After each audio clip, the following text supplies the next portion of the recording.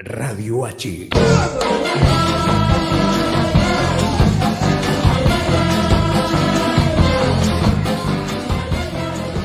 Buenas noches, 18 de julio de 2018 estamos aquí en Radio H haciendo en recortado con Silvio Katz, con el amigo Sergio Bursten y que les habla Gustavo Paula. Bueno, vamos a estar hasta las 22.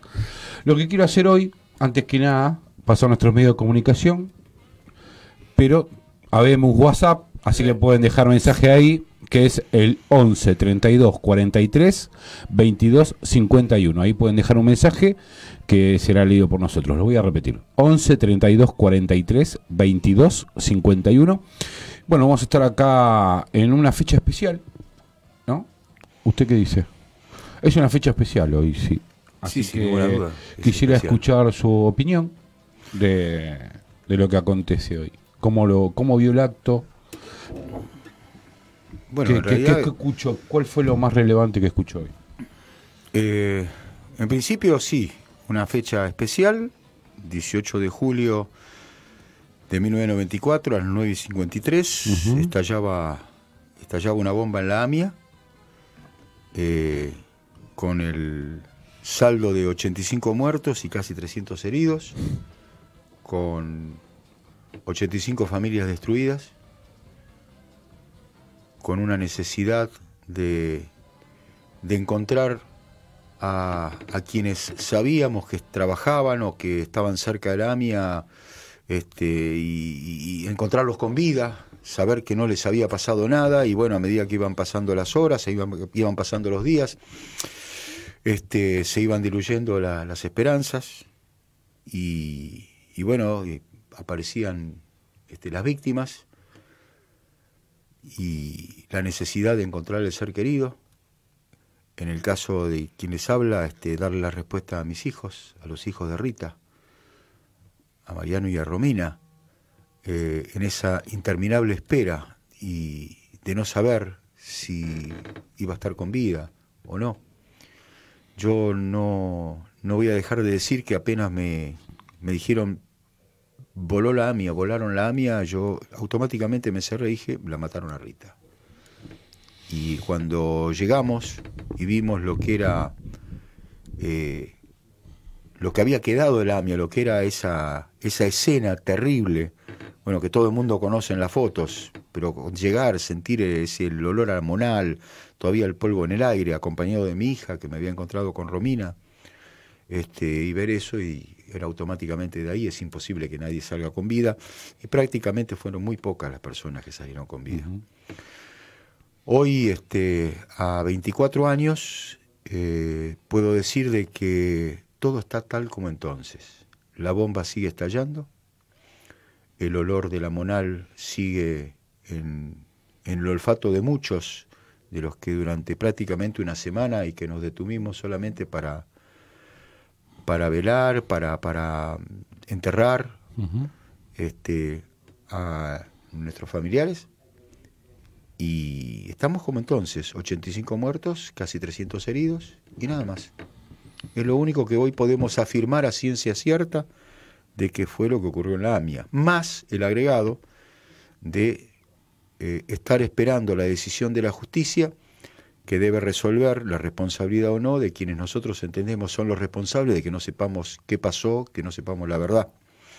Y con una esperanza o por lo menos con una ansiedad doble, por lo menos en mi caso y creo que de todos los familiares, respecto de que no solamente eh, la opinión de la justicia, sino que se haga justicia, justicia con mayúscula que este tribunal que está juzgando a aquellos que entendemos que nos debían dar la respuesta y debían devolverle la dignidad a los masacrados en la AMIA, que es con la verdad verdadera, este, y que entendemos son responsables de no haber tenido esa respuesta, eh, bueno, finalmente eh, el tribunal se piense desde el derecho y no desde la política, que este tribunal eh, sea ecuánime, sea objetivo y que fundamentalmente piense en las víctimas y que entienda lo que significa 24 años sin respuestas y que no nos defraude. Que sea cual sea la sentencia que pronuncie, tenga argumentos sólidos como para poder eh, demostrar de que están a derecho y que justifican sobradamente la decisión que van a tomar respecto de los que están hoy acusados. Y vamos a dar los nombres. Los nombres de los acusados son Carlos Saúl Menem, expresidente de la Nación, Anzorregui, ex jefe de la CIDE, Anchesa, segundo de la CIDE, Elfino Palacios, ex comisario, eh, mm, Rubén Beraja, el ex presidente de la DAIA, Galeano, el juez que debía investigar como correspondía y no lo hizo, los fiscales Mulen y Barbaquia, eh, Carlos Alberto Telleldín, eh, quien armó la camioneta, su mujer, por entonces, Ana Boragni, este infale, el, abogado de, Carlos Alberto Telleldín. No sé si me olvido de alguien, pero pido disculpas, pero bueno, eh, creo que quedó sobradamente demostrado en el, en el tratamiento que se hizo durante casi tres años de juicio, estoy diciendo casi tres años de juicio casi tres años de invisibilización por parte de los medios hegemónicos de este juicio. Eh, están sentados sus amigos, están sentados los que este, a los que ellos se deben. Sí, eso se, eh, pudo, ver en el acto de hoy, ¿no? Eh, sí, el acto de hoy, perdón. Sí, pero no te quiero interrumpir, pero me, me, vino, y lo tengo que decir por la verdad, me pareció una vergüenza. Fue bochornoso el acto de hoy. Y después de no, no asistir al acto, no lo escuché, pero leí eh, comentarios, leí los discursos y yo puedo decir que primero y principal, ayer me preguntaron qué opinaba de la no presencia de Mauricio Macchi en el acto, me lo dio una periodista este, eh, en, en, su programa de radio, Ernestina Pais, y me dijo, ¿qué opinás, Sergio, de que no vaya Mauricio Macri? Esperando de que yo decir, es una vergüenza que no vaya. No, por suerte no fue. Yo debe ser la primera vez que estoy de acuerdo con Mauricio Macri, porque Mauricio Macri en el acto del AMIA no tenía nada que hacer, porque a él le importan tres cominos los muertos y menos la verdad verdadera.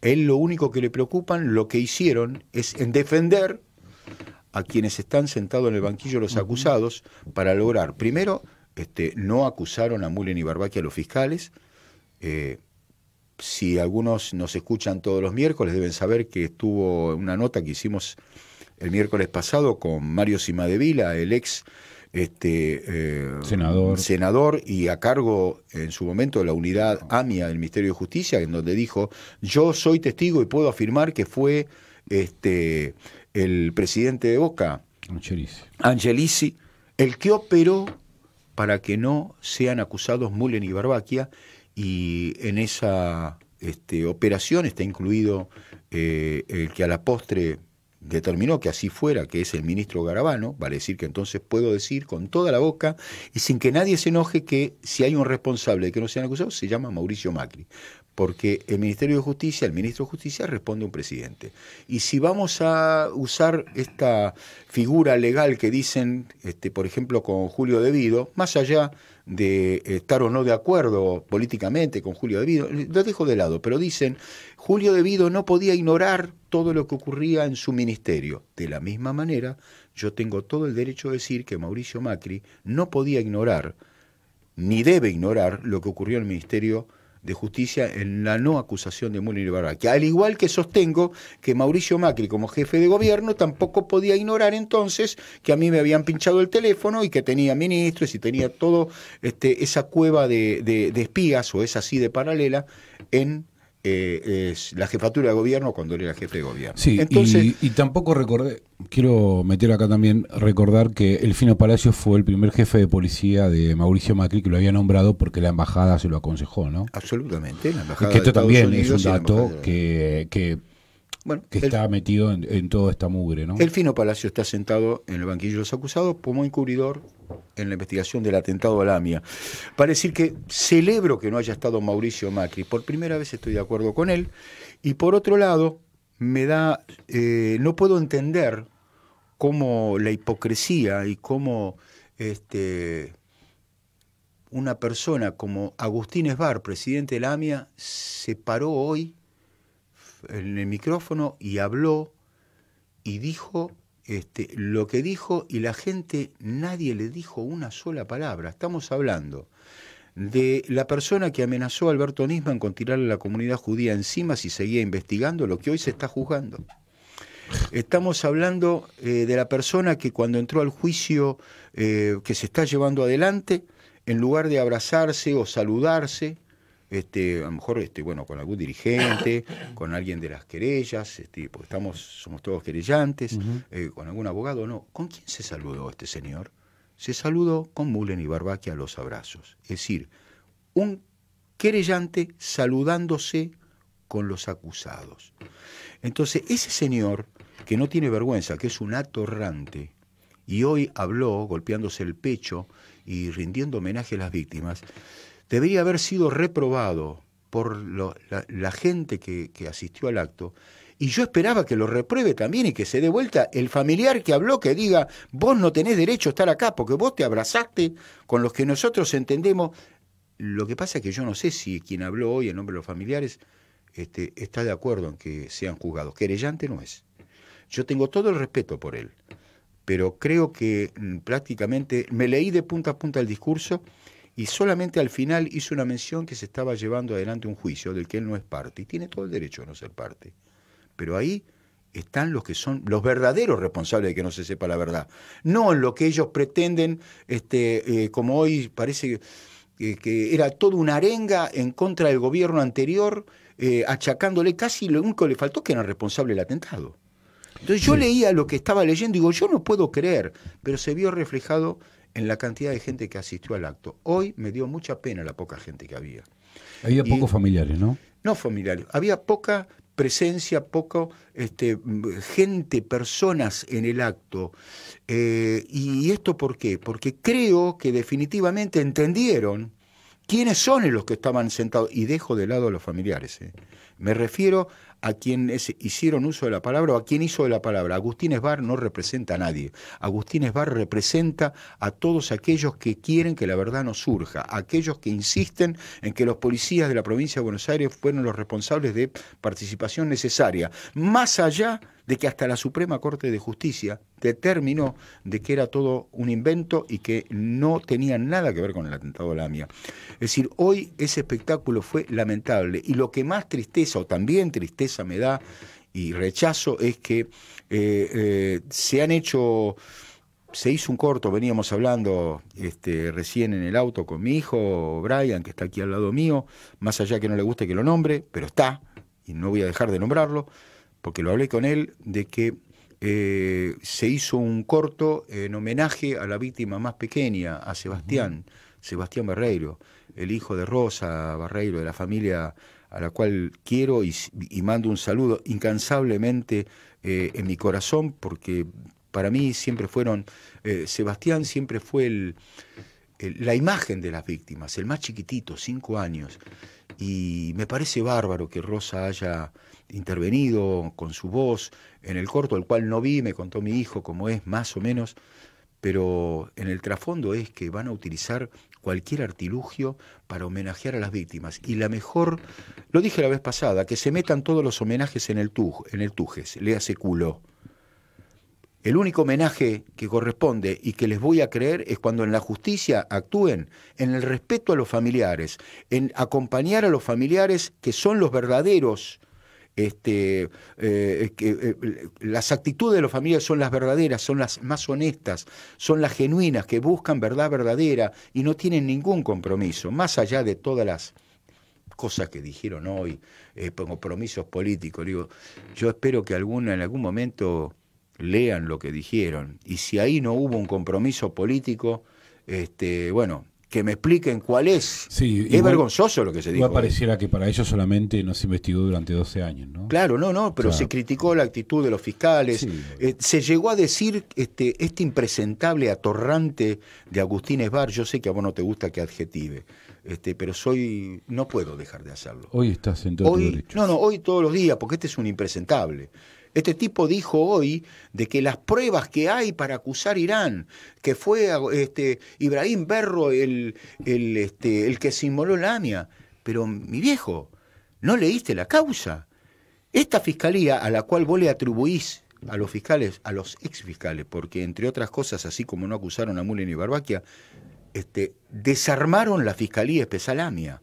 Es decir, la trasladaron en otra oficina, no sé quién va a investigar. Están haciendo todo lo posible para que la verdad no surja. ¿Por qué? Porque estos fiscales, en el poco tiempo que estuvieron, no solamente determinaron la identidad del NNN, del NN, perdón, el hijo de María Lourdes Jesús, algo que sistemáticamente y en forma personal a mí, Alberto Nisman, me negó de las veces que le pedí, este, y dijo que él ya había hecho todo lo posible, no había hecho absolutamente nada, porque no tardaron mucho. con la cédula, la que lo investigó en esta causa de Nisman. ¿no? ¿no? pero no tengan duda. Pero este señor dijo todo lo que hizo Alberto Nisman por la causa AMIA, que me diga algo que hizo.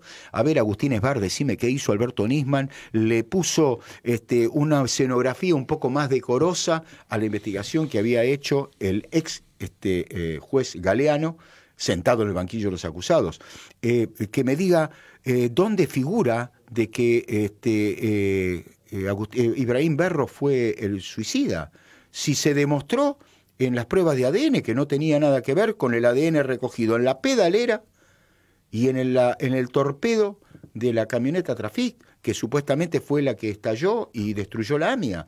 Entonces, ¿cómo puede decir, sin ponerse colorado ni darle vergüenza, que ese es, el, es la persona que se inmoló en la AMIA? Eh, no, figura, no figura en la causa. Nada de lo que dijo, las pruebas que hay contra Irán. A ver, Agustín Esbar, a ver si tenés las pelotas de ponerte y sentarte frente a cualquier familiar y que digas cuáles son las pruebas. Que me diga una sola prueba concreta, judiciable, para poder aseverar que el Estado iraní es el responsable de haber planificado y llevando adelante el atentado y repito lo que tengo necesidad, porque si no después me dicen que yo soy pro-iraní, que soy traidor, que... A ver, que me digan una prueba, que me dan la prueba, y yo por supuesto que voy a decir, Irán, vamos todos contra Irán, vamos y, con todo lo que tengamos a denunciar y a, exigir justicia porque Irán es el responsable. Ya nos comimos pescado podrido, Gustavo. Sí, obvio. Eh, nos comimos el pescado podrido de que los policías de la provincia de Buenos Aires eran responsables. Eh, ocho años y medio lo tuvimos en cana esa gente. No son carmelitas descalzas ni mucho menos. ¿eh? En las escuchas se demostró muchos delitos que ellos cometían, que encima no, ni siquiera este, pudieron ser juzgados, más allá de que esta gente quiera que lo sean, porque ya prescribió esa causa. Pero lo cierto es que no tenían nada que ver. Y hay una realidad, ¿no? Es muy difícil que vos puedas poner una bomba en, qué sé yo, por ejemplo, que vengan, que han a poner una bomba en La Plata, por ejemplo y es imposible que la federal no lo sepa. La federal no, sino la, bonaerense. Y viceversa. La CIDE. La CIDE. La CIDE, la cual este, estaba siguiendo los pasos de la camioneta y de repente, de, eh, cuando la estacionaron en Jet Park, ahí en las cercanías de, la, de, de Pasteur, este, de la AMIA, este, perdieron el rastro. Entonces la pregunta que yo hago es, si la tuviste hasta ese momento, el sábado anterior al 18, al lunes, vos si la venías siguiendo, ¿no sabés dónde cargaron los explosivos? ¿O será que la dejaron, este, eh, es decir, estaban esperando dejar o no dejar que ocurra? Y bueno, se hicieron, miraron a los distraídos, le bajaron la orden y dijeron, bueno, que siga para adelante, y voló la AMIA. Y sí, porque ahí, para mí, eh, obviamente que lo de la bonaerense es un, es impresentable, digamos, esa denuncia.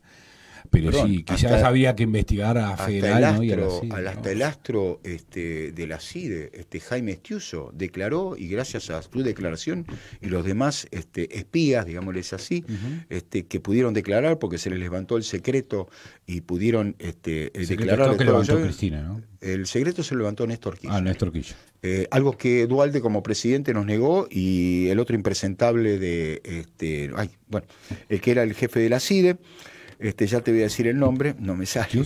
No, no, no, no, no, no. Este, bueno, ya, ya te voy a decir, pido disculpas. Este, ya te voy a decir el nombre. Eh, con el cual tuve un problemita por un intento de secuestro de mi hijo. Ah, mira. ¿Estamos? Este, porque el Fino Palacios, cuando investiga el intento de secuestro, determina que las responsabilidades recaían sobre la CIDE. Entonces fui a la CIDE, porque justo se daba que había una reunión. ¿Larcher? ¿Cómo? ¿Larcher? No, no, no, no. ¿Qué es? Este, ay, lamento mucho. Bueno, ya lo vamos a pasar. Eh, sí, eh, ya está acá el informático este, en potencia, Brian, Sí, está, no lo puedo creer que no me acuerdo el nombre. Cuando lo diga me va a decir, ah, claro, sí, bueno. Este, y bueno, tuve el gusto de decirle en la cara de que, que sea la última vez y que no se metan más con mi familia, que se metan conmigo, pero que no sigan cubriendo ni protegiendo esa maldita cueva de nazis que es la CIDE, que eso fue lo que le molestó cuando yo declaré eso. Pero bueno, lo cierto es que Néstor lo permitió, declararon y él mismo dijo, no tenía... ¿Cómo? No, Becerra era procurador, este, al cual se Ahora le atribuye haberlo nombrado Alberto Nisman, este, y no fue Becerra porque se tenía que apartar. Pero bueno, no importa, eso es harina de otro costal. Eh, Miguel Ángel Toma era el jefe de la CIA. Ah, sí. Eh, bueno, Es- alcanza, ¿viste que te dije? ah, bueno, ahí iba a venir el A. Era, no era el de la, era el sí, el de la, el de la que estaba, estaba el de la la sí, sí, sí, sí, en la época de Menem. Olvídate, este, no, no, no tengas ninguna duda, sé con quién hablé. Pero bueno, este, son cuestiones que pasaron y digo, para hay que tener un poco de decoro y hay que ser un poco más respetuoso de las víctimas. Eh, Agustín Esbar no merece ni siquiera asomarse a ese, a ese espacio. Agustín Esbar es una vergüenza que haya hablado.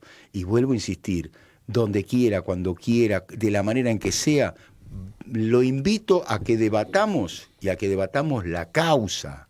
A ver desde dónde él puede decir lo que dijo, que no sea una mentira, que me demuestre lo que dijo. Va a ser imposible.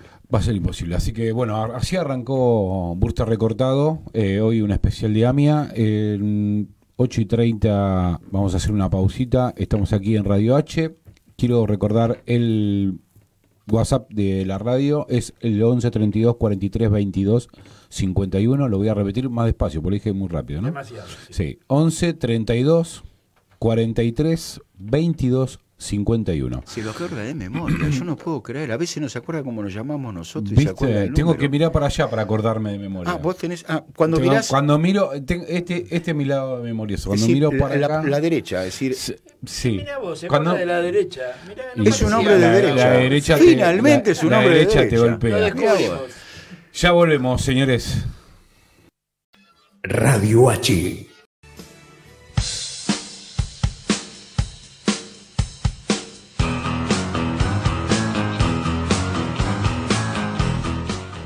Continuamos aquí en Booster Recortado en Radio H y está el doctor Juan Martín Mena.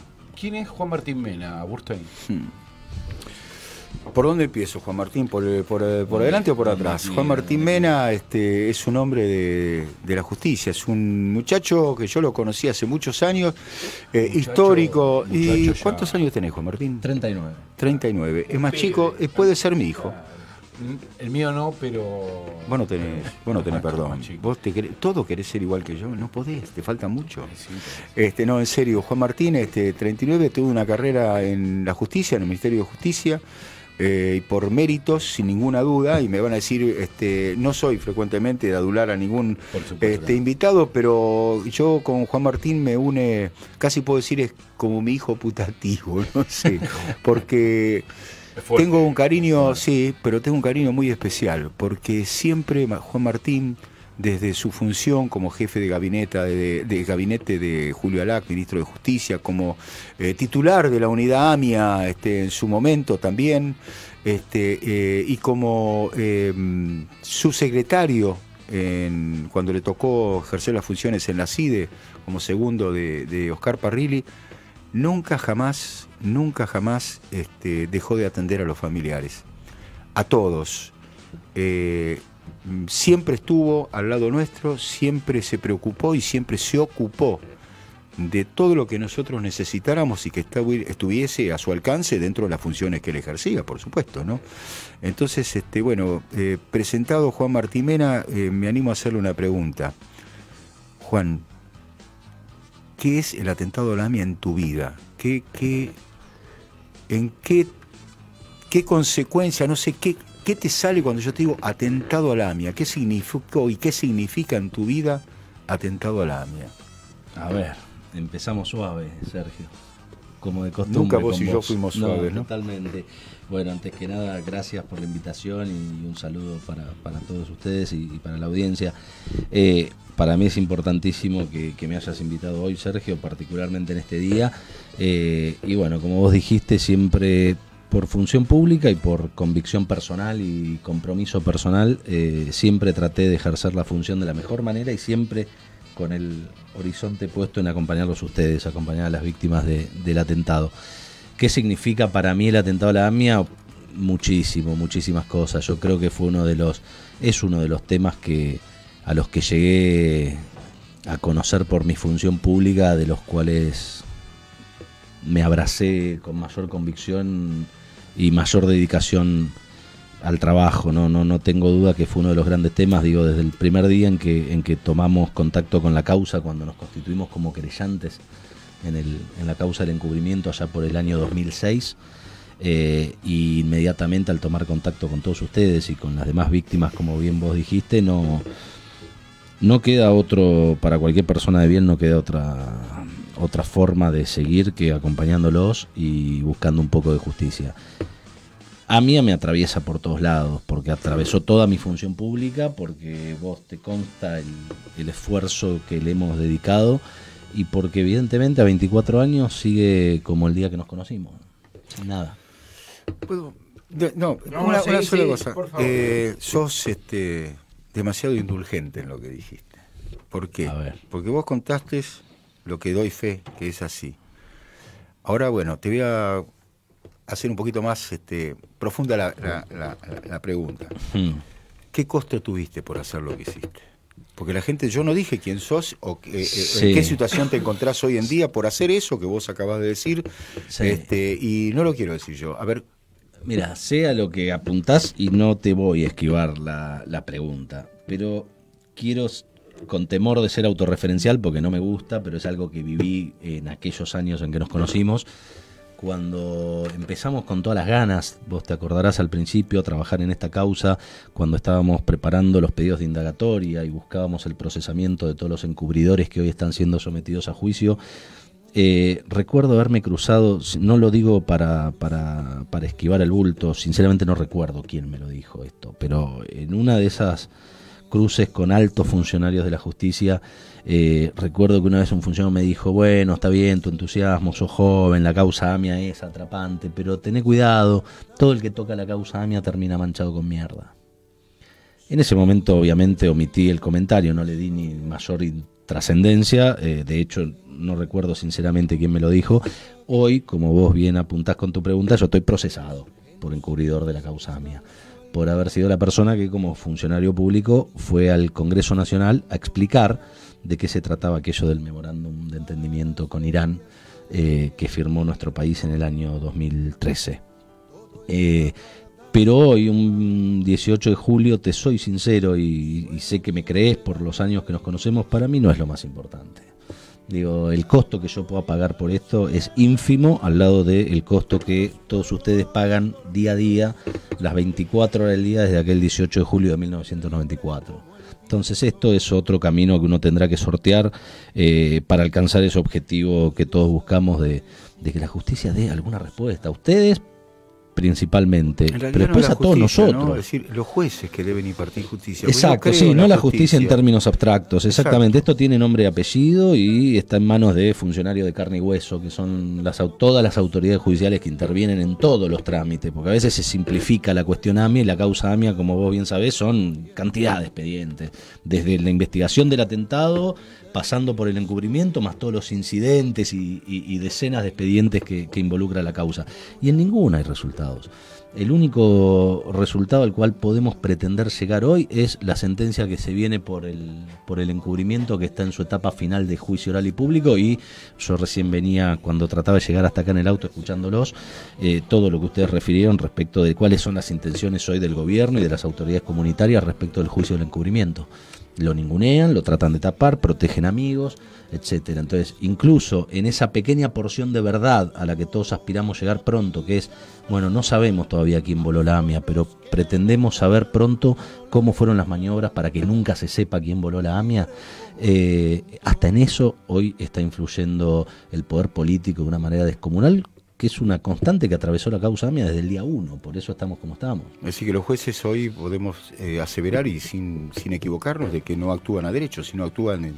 Bueno, no lo sabemos, todavía no tenemos sentencia, no, esperemos... los que están, los me refiero, hmm. por ejemplo, a quien eh, te ha procesado, ah. junto con Héctor Timmerman, Cristina Fernández de Kirchner, este, Zanini, el Delía, Esteche, a todos, sin excepción, en una causa en la cual este, es un invento chino, en donde mm, se está llevando adelante una acusación por algo que nunca ocurrió.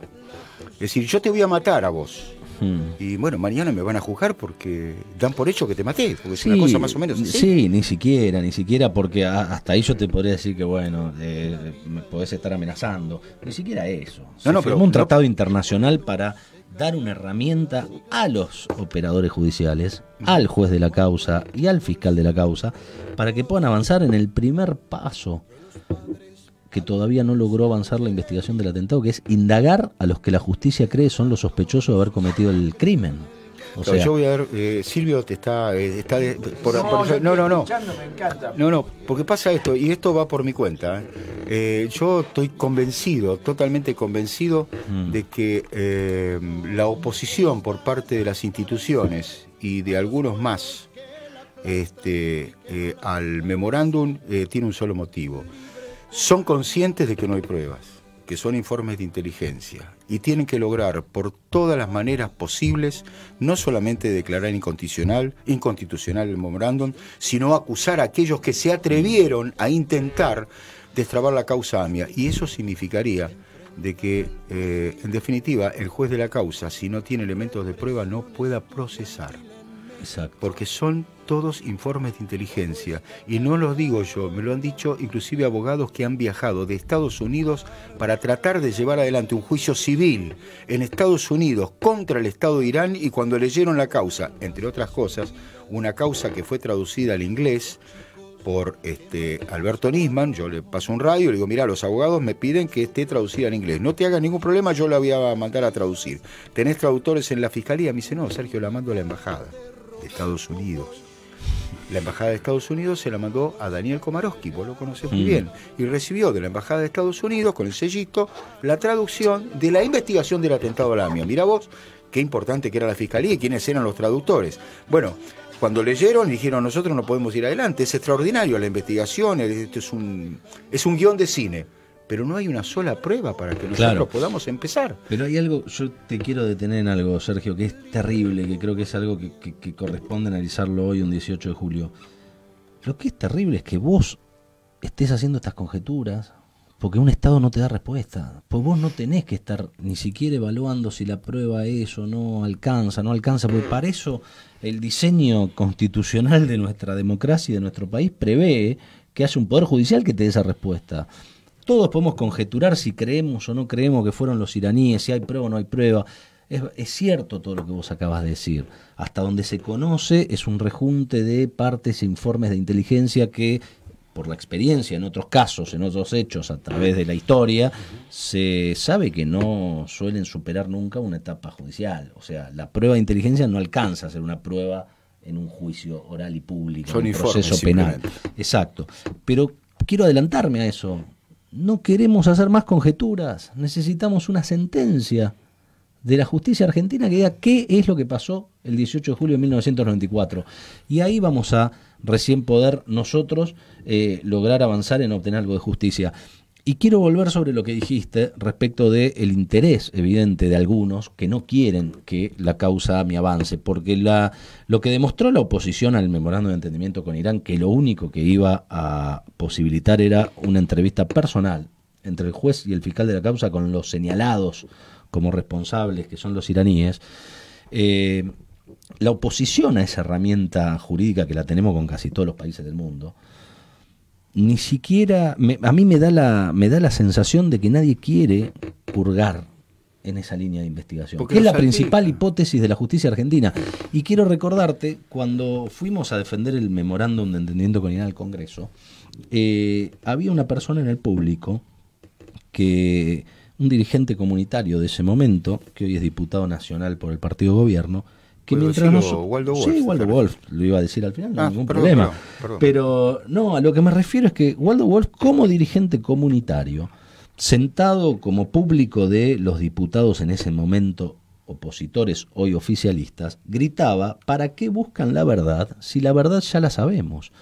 Bueno, lamento informarle a Waldo Wolf que a mí la verdad me la tiene que decir una sentencia en un juicio oral y público. Y Waldo Wolf era público. Yo te voy a referir que esa misma respuesta o ese mismo grito lo dio un hoy gobernador, hmm. el tal señor este ex senador y actual gobernador Morales, ah, que sin ponerse colorado también dijo, ¿qué tanto lío para qué memorando si ya sabemos que quiénes fueron y ya sabemos que este que tenemos que llegar a un acuerdo? Si fue Irán. Entonces yo le dije, bueno, si este usted puede este, aseverar esto, yo lo invito que se pare frente a la tumba de la mamá de mis hijos y diga, quédese tranquila, duerma en paz, eh, descanse en paz, perdón, descanse en paz, este que ya sabemos quiénes fueron. Eh, la justicia, ¿para qué? Si la justicia ya el público lo juzgó, eh, la investigación lo dice, pero no, no, no, hace falta un juicio. ¿Para qué memorándum? Porque le tienen miedo al memorándum, porque le tienen miedo a todo aquel que se preocupe y se ocupe, como los fiscales que sucedieron a Alberto Nisman, que están desmantelando absolutamente la fiscalía, porque tuvieron la, reciente escuchaba, idea de. Reciente escuchaba cuando venía, cuando yo venía hacia acá, hacia la radio, efectivamente, en menos de un año y medio de trabajo, los nuevos fiscales identificaron a la víctima número 85 que estaba enterrada como NN. Encontraron, no nos olvidemos, en una heladera de la Policía Federal un balde con restos humanos y restos metálicos de partes de la famosa Traffic, que hasta ese momento habilitaba justamente el no contar con prueba la hipótesis de si existía o no existía la Traffic en, el atentado contra la AMIA. Bueno, encontraron el balde, encontraron, lograron identificar a la víctima número 85 y hallaron en el último material de, la Secretaría de Inteligencia que desclasificamos en febrero, si no me equivoco, del año 2015, partes de inteligencia que dan cuenta de Moshen Rabani reuniéndose meses después del atentado con el subsecretario de Inteligencia del entonces gobierno argentino. Entonces, uno de los principales sospechosos hoy del atentado, ¿qué hacía entrando al edificio de la Secretaría de Inteligencia a entrevistarse con el subsecretario en el año 96?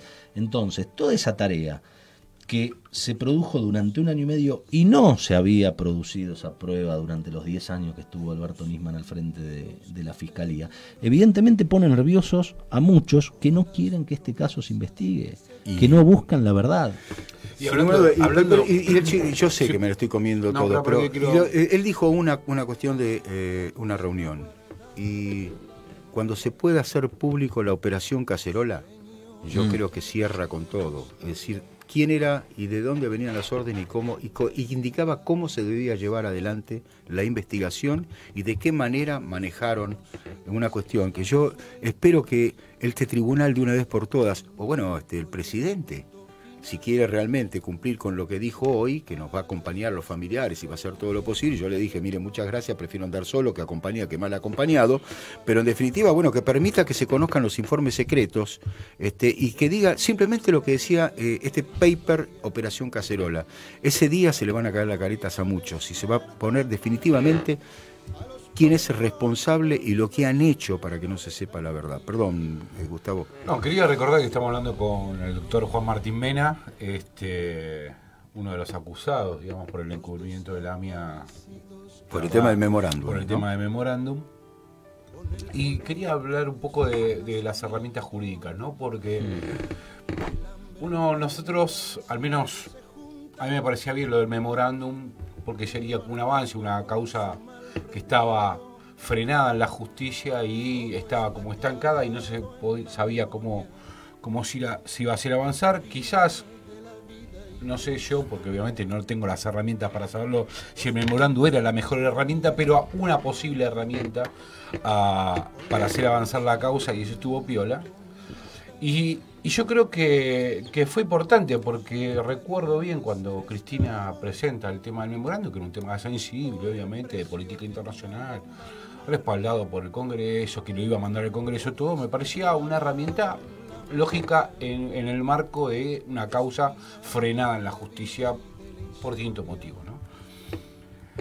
Del otro lado, ahora aparece otra herramienta jurídica que es, casualmente, me parece a mí que no busca la verdad, que es el juicio en ausencia, ¿no? Primero, es inconstitucional que yo lo escuchaba casi Villa en el, en el en la nota que, en le la hicimos. nota que le hicimos nosotros acá el miércoles pasado, que básicamente lo que ni siquiera busca seguir la- una línea de investigación, sino finalmente enterrar de una vez por todas la causa AMIA y que finalmente no se conozca a nadie eh, de quién fue los que hicieron ese terrible eh, atentado en la Argentina, que nos hicieron a nosotros los argentinos. Entonces, ahí tenés, ¿no? Cómo detrás de la, de la búsqueda de herramientas jurídicas te das cuenta quién encubre y quién busca la verdad, ¿no? Sí, pe- pero además eh, com- comprendo perfectamente y como vos lo decís, yo creo que la respuesta no es ni siquiera jurídica, es de sentido común. Qué obvio. ¿Vos te quedás tranquilo con una sentencia que te diga que fulanito es culpable de un delito cuando fulanito no se lo escuchó, no pudo aportar prueba, no pudo defenderse? Eso es el juicio en ausencia. Y por eso es inconstitucional. Digo, más allá de que se da de lleno, se da de lleno contra toda nuestra constitución nacional y, y- y los preceptos de la constitución que justamente establecen cómo debe ser juzgada la gente en nuestro país. Eh, el sentido común es violado por el juicio en ausencia. Porque es lo que hablábamos hace escasos minutos. Es simplemente decir, bueno, yo tengo esta verdad y la quiero simplemente formalizar o decretar. Pero si no hay controversia, si esto no se expone las pruebas contra las pruebas que pueda aportar el acusado, etcétera, yo creo que a nadie deja tranquilo. Pregúntenle a los, a los familiares de las víctimas de la AMIA si los dejaría tranquilo una sentencia eh, luego de, llevar adelante un juicio oral y público en ausencia, o sea, sin, sin, sin- tener a la contraparte que, que tenga que defenderse. Por eso en ese momento, como vos bien decías, no sé, no, no fue, seguramente no, no hubiera sido la mejor herramienta el memorándum, fue la que conseguimos. Porque hoy, después de 24 años sin ningún resultado, cuando uno hace la supresión como se hizo de, el memo- de la existencia del memorándum en esta causa, seguimos igual. Entonces, hoy yo ratifico mi postura, yo vuelvo a defender el memorándum. No tengo duda, porque ante este estado de cosas, el memorándum por lo pronto hubiese permitido dar el primer pasito. Ojalá tuviésemos otras herramientas jurídicas o de cooperación. Está demostrado que no las tenemos. Irán nunca va a entregar a estos tipos y Argentina nunca los va a capturar. De hecho, hace escasa 48 horas uno se paseó por Rusia eh, y ahora vemos que el gobierno dice que la burocracia judicial no permitió detenerlo. Falso. Una mentira absoluta, eso no es así y tampoco se ve de parte del Poder Ejecutivo que haya hecho nada por eh, colaborar con la justicia para que esa rogatoria llegue, llegue a tiempo y se cumpla. Exactamente, y ahí tenés eh, la, la falacia de las alertas rojas de Interpol, que supuestamente donde apareciera no tenías que detener y todo, y de hecho nosotros tenemos tratado de tradición con Rusia, Absolutamente. no con China, porque después de ahí lleva a China. Exacto. Y sin embargo, el tipo sale, Interpol no hace nada, Rusia le dice, ¿qué? Toca. Y se terminó, y el tipo se toma un avión y se va a China y después volverá. Totalmente. O sea, ahí tenés Totalmente. Toda, toda la Por mentira eso- construida detrás de la famosa caída de alerta roja, que en realidad lo que demostró este hecho que vos estabas Mm. mencionando, Juan Martín, es que no sirven para nada. ¿no? Mm. Sí, no, hay que desmitificarlas. A ver, alguna función tienen en algunos casos específicos. En este caso, evidentemente, no han servido para nada las alertas rojas, pero más allá, la alerta roja es un canal de comunicación privilegiado, si querés. Es un sistema que Interpol pone a disposición de los países para que los países se enteren más rápido Sí, respecto de los pedidos de detención que formulan otros países respecto a sus ciudadanos. Acá el problema es que las capturas están vigentes por parte de la justicia argentina desde el año 2006. No la forma de cómo las comunico al mundo, sino la captura ordenada por el juez Canico Corral está vigente respecto de todos los iraníes sospechosos y ningún país la cumplió. Y los iraníes no dejaron de viajar ni de pasear por el mundo. Por lo tanto, hecho- las alertas rock and roll son una herramienta, por supuesto que hay que sostenerlas de por vida hasta que esta causa avance. pero no hay que darle mayor trascendencia de la que tiene. el que agarraron en Londres, ¿cómo se llamaba? No, no, Suleiman A esto voy, a esto voy, pero eh, yo eh, quiero volver, pero Silvio quería hacer... No, está bien. ¿No? Yo me siento un espectador de lujo porque la verdad que se aprende un montón. El doctor es un, libro abierto, como se dice, pero yo apunto, eh, te pregunto desde, la ignorancia, ¿no? desde, el desconocimiento desde una causa como la mía que lleva 36 años eh, y la semana pasada sale una editorial en el Diario de la Nación donde dice dejémonos de joder, dejémonos de juzgar a los héroes de la patria, ¿sí? hablando de los torturadores. ¿Qué, ¿Qué podemos hacer para que AMIA, la causa AMIA, dentro de 12 años, no sea lo mismo que la causa Malvinas?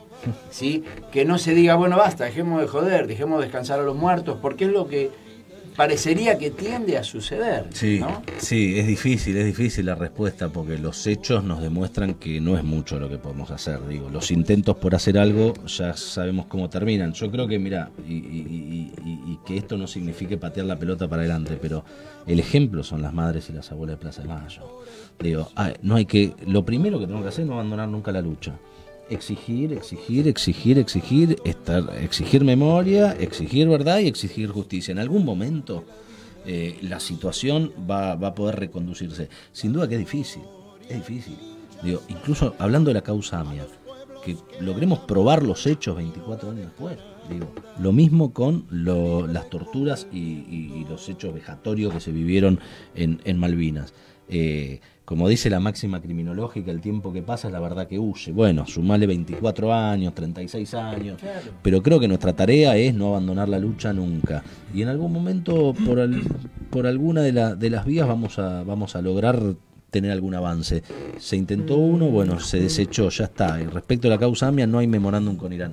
Hay que seguir insistiendo, pero sobre todo hay que reclamar a los que nos gobiernan a que se sigan eh, manteniendo la vigencia del reclamo, porque hoy lo que se está viviendo es, no solo no están aportando nada para que estas causas se esclarezcan, sino que están haciendo todo lo posible para que estas causas se entierren. Exactamente. Y ustedes se entrevistaron, lamento no haberlo escuchado y lo voy a buscar, eh, porque entrevistaron a Mario Sibadevilla. Te lo paso, te lo paso, te paso la entrevista. Eh, es, lo que él denunció es terrible. O sea, a su propio gobierno dándole indicaciones de ir para atrás en una causa al punto que el hombre renuncia y le formula una denuncia penal al ministro de Justicia. Yo que estuve en ese lugar me resulta inimaginable la situación. Sí, bueno, este es el, gobierno impensado, ¿no? Aparte, eh, eh, otra cosa, para terminar con, con, este, esta partecita mía, eh, ¿cómo hacemos para que el 18 de julio no, ¿cómo hacemos para que el 18 de julio no quede solo en el 18 de julio? Mm, ¿sí? Porque mañana la gente va a hablar de AMIA también, pero ya el 20 de julio la gente se olvida. Es el Día del Amigo, se olvidó de AMIA. ¿Qué herramientas hay para que la gente todo el año hable de la causa AMIA? ¿Cómo se puede hacer? O sea, eh, me desespera que no eh, el que pase el 18 de julio y la gente diga, bueno, sí, ya está, basta, es un tema viejo, ¿sí?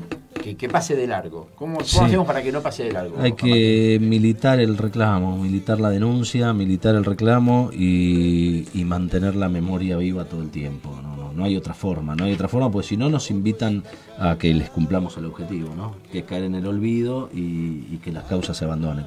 Hoy no queda otra que eso, visibilizar el conflicto permanentemente, el reclamo de justicia y el conflicto que viven, ya insisto, no solo los familiares de la AMI, sino ni tampoco las víctimas directas de, lo que fue la represión ilegal sumada al escenario Malvinas. Todos los argentinos, pues todos fuimos víctimas de lo que a ustedes les tocó vivir. No, no, por eso. Eh, Claudio. Claudio. Nos acompaña Claudio Pose. El amigo, el negro. El negro. No sé por qué lo de negro no sé dónde lo, lo sacaron. Lo tengo visto. Negro peronista, le falta ser judío, como dijo Silvio. completa. Sería ser Junior, obvio. Claro, sí, sí, sin ninguna duda. Claudio. No, eh, Juan Martín, dos preguntitas, o una pregunta con dos partes, que me parece que tienen un poco que ver. Y, siguiendo la línea de lo que decía recién Silvio, te llevo al túnel del. La misma se la dije a Taylor el miércoles pasado que. Vengo a decir esta pregunta únicamente. Al túnel. Este, Estás re Michetti, ¿eh? Estás re Michetti. muy Michetti. Nada, pero más tecnológico. ¿Cómo se del dice, tiempo. ¿cómo se dice del tiempo. Y vamos al futuro. Estamos en el 2019. Sí. ¿no? Cambio el gobierno, como aparente, después de la conferencia de prensa del presidente de Nación hoy, ya que no quedaría ninguna duda de cambio de gobierno, ¿Tanto? Y muy floja, ¿no? La conferencia de prensa. No tuve el honor de escuchar. No te perdés de nada. Me, la debo, me la debo. Eh, hay una tormenta, dijo, nada más. Ah, ah, lo sé, lo sé, tengo paraguas y. Te lleva el tema del tiempo. 2019. Hay un gobierno popular. Sí. ¿Qué hacemos con el Poder Judicial? ¿Cómo lo intervenimos? Para que te termine, te tiro la segunda parte. Y con respecto específicamente a la AMIA, hoy hablando mucho con Sergio sobre la AMIA, yo me quedé pensando, y digo, hay una línea eh, política, si se quiere, entre el gobierno, esto ocurrió en el gobierno de Carlos Saúl Menem, ¿no? un gobierno de corte neoliberal, mm. y este gobierno, y teniendo en cuenta que, por ejemplo, el funcionario del gobierno actual en la provincia de Buenos Aires, digamos, eh, Cristian Ritondo específicamente, mm. que es eh, secretario ministro de, Seguridad. ministro de Seguridad de la provincia de Buenos Aires y fue de la CIDE en una, alguna parte del gobierno de Carlos Saúl Menem.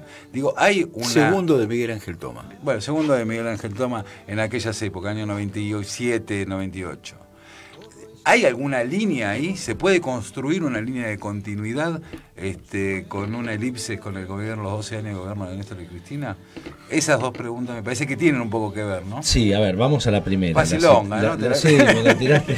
Hubiese venido antes, eh, no, lo, no entiendo, Respecto del Poder Judicial, yo creo que sin duda es uno de los poderes del Estado sobre los que menos reformas se han podido introducir desde el retorno democrático y que bastantes deudas con nuestra sociedad. Eh, sobre todo ocultando un poco de su funcionamiento. No, hay persona de un lado o del otro que no esté disconforme con el funcionamiento del Poder Judicial.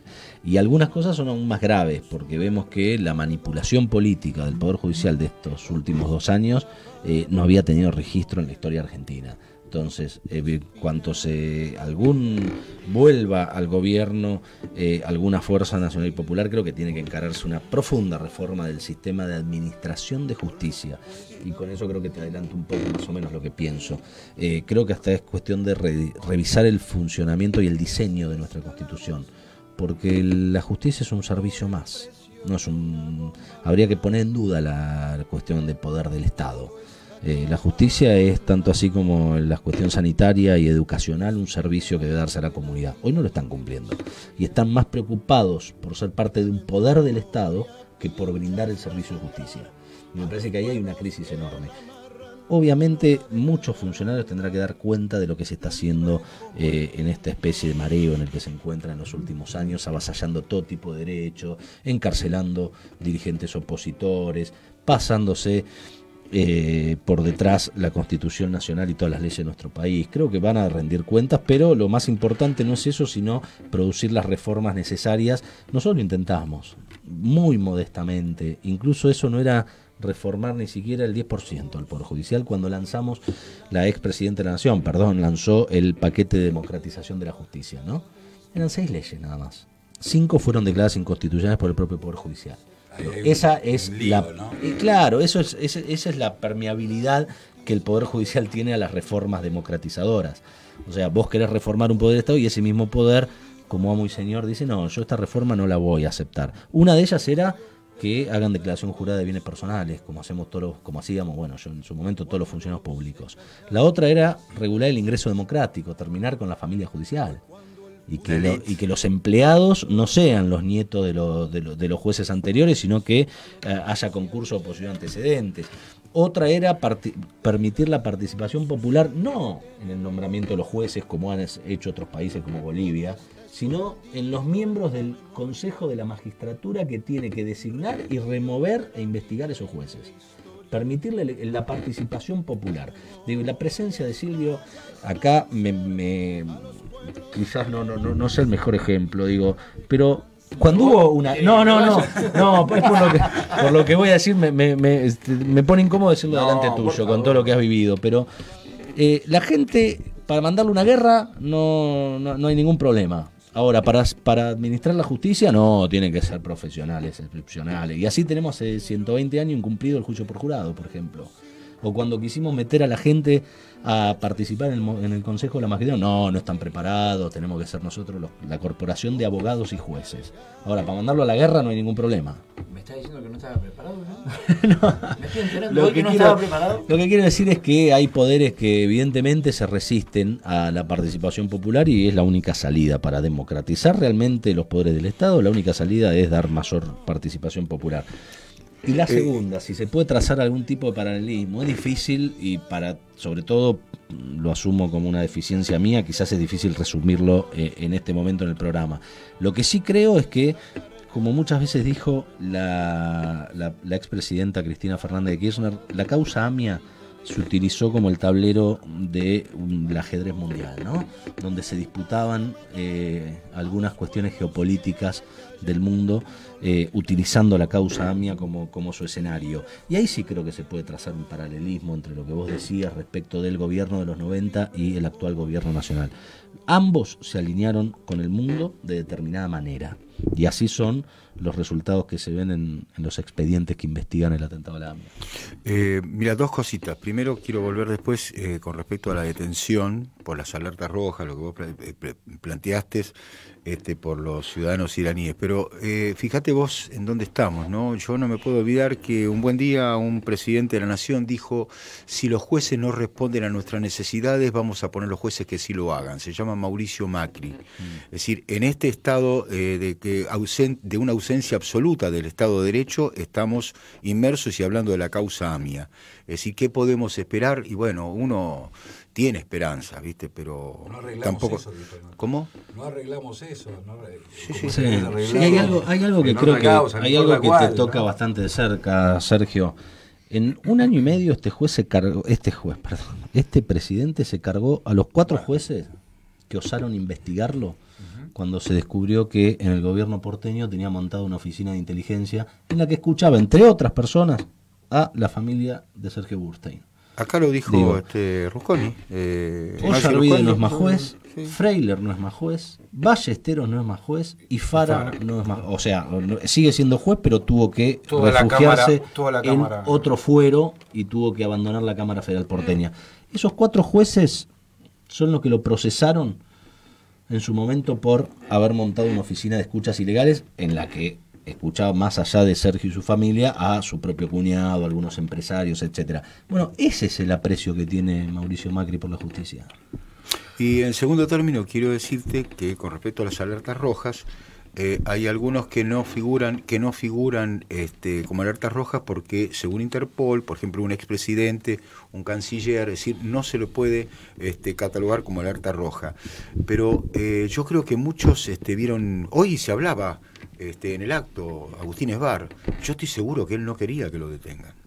Porque si lo detienen, él sabe y es consciente que va a pasar lo mismo que con Sulemanpur. Y no quieren pasar esa vergüenza de lo que ellos dicen, son los responsables y después cuando manden las pruebas, entre comillas, le digan, pero esto es una payasada, acá no hay elemento de prueba, esto son informes de inteligencia. Yo no puedo deportar a una persona con esto. Eh, mándenme algo conciso, algo que pueda ser judiciable y no existe. Para decir que fue todo de forma. Eh, no, no se cumplieron los tiempos, todas excusas. Saben que si los detienen no los van a poder extraditar porque no hay pruebas. Ojalá las hubiera, porque estamos encolumnados, vuelvo a repetir, tras Irán, tras los ciudadanos, no hay. Nosotros siempre decimos que hay que buscar la ruta del tráfico de armas, ¿no? Para encontrar el atentado. Sí, pero hay que buscar la verdad verdadera y no seguir este, distrayéndonos. Pero bueno. ¿Saben qué? Nos dejó un mensaje fuimos a. Vamos a escuchar una tanda, un tema musical y cuando volvemos vamos a escuchar a Eve Bonafini en, la en un pedacito de la entrevista que le hicimos el otro día. Bueno. ¿Te parece o, preferís que. No sé, que hagamos otra cosa? Si yo llego a decir que no, acá me echan. Sí, exacto. Hacé lo que yo te digo entonces. No, usted cállese. Vamos. Radio H. Que yo tenía que ir a ver al Papa. Yo tenía que, el 18 de julio, desde que me echaron actos oficiales, entre comillas, dije, el mejor acto es estar con Francisco el 18 de julio. soñé, me desperté, lo pensé y lo logramos. Es decir, es una obsesión. ¿A qué voy con esto? Yo sé lo que pagué en la vida, lo que pago por, por vivir para esto, porque dediqué mi vida, hoy me doy cuenta, y hay costos. Eh, la libertad cuesta. Es el costo más grande de la libertad. ¿Y cómo te sentís vos? Es decir, porque entregaste tu vida, estás acá y después que te vas de acá seguís estando acá, nada más en otro lugar, en tu casa. Sí. No en mi casa, porque duermo en un departamento acá. Yo acá al lado tengo un departamento para dormir. Mi casa voy solamente los viernes, los sábados, o los sábados y los domingos. En mi casa. Y tengo muchas plantas, cocino, me gusta mucho cocinar, preparo la comida para toda la semana que yo me cocino acá. Siempre atiendo a alguien, aunque diga que no voy a atender a nadie, tengo que atender a alguien siempre por diferentes razones. Leo mucho, escucho música y Y duermo. Como ser casi siempre los sábados duermo hasta las 2 de la tarde. A veces mi pieza parece la pieza de una pendeja. Tengo ropa tirada por todos lados. Ropa tirada por todos lados, en serio. Bueno, pero vos te sentís, eh, así, eh, espíritu joven. Sí, por ahora el espíritu tengo joven, sí. tengo muchas ganas de hacer, tengo muchas ideas. Yo le digo a los jóvenes, no alguien le dice que no lo haga, usted háganlo. Lo que parece más loco hay que hacerlo. Le voy a probar una pregunta, Sergio. ¿Qué hay después de EVE? Cuando bueno, todos los jóvenes que están trabajando acá la tienen clara, bastante clara. Por eso quiero que esta casa sea de todos. No es de alguien, no se la dejamos a nadie, ni a una organización, ni a un partido. Esto está ya puesto en escribanos públicos, todo, que esto es de todos.